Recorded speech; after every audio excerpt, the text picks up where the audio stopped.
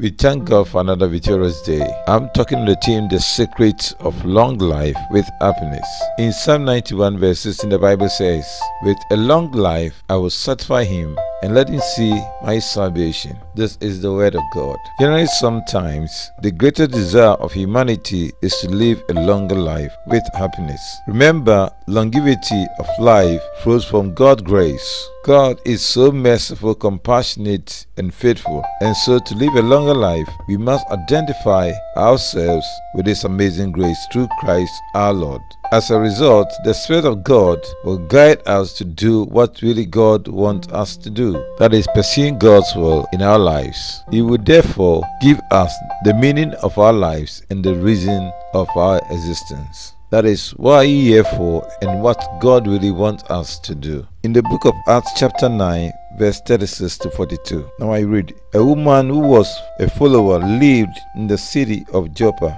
Her name was Tabitha or Dorcas. She did many good things and many acts of kindness.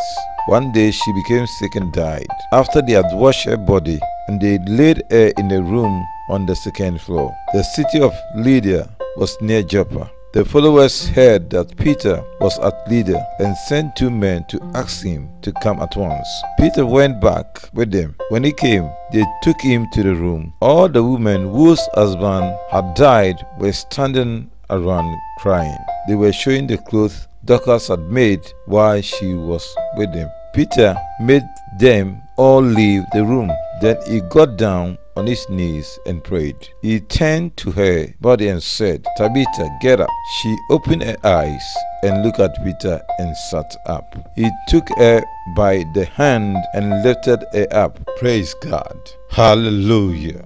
Dorcas, in her era, find it to be so amazing to operate in alignment with God's word.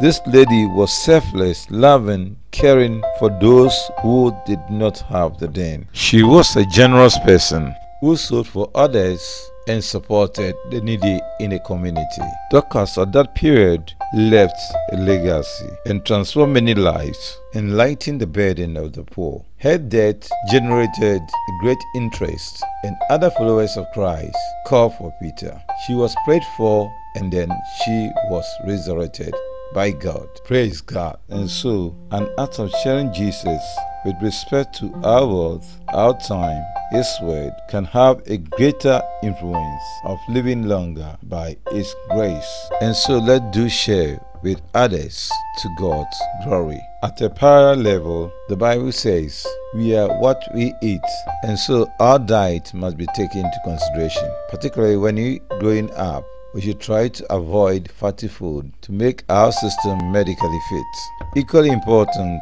physical exercise profit a little, and so we must exercise our body to make our body physically fit for the tasks ahead of us as we pursue godly life in Christ. Last but not least, we should celebrate Christ through the joy of salvation with music. With music through praises and worship to God. Our friends, as we care for the needy, do exercise, manage our diet, celebrate Christ with true hearts, we experience true happiness, and the outcome is the outflow of the joy of the Lord. Note this happiness may lead to healthier lifestyle, have the tendency of reducing high blood pressure and stroke and other heart related diseases. Lovely friends, God bless you for enjoying this message.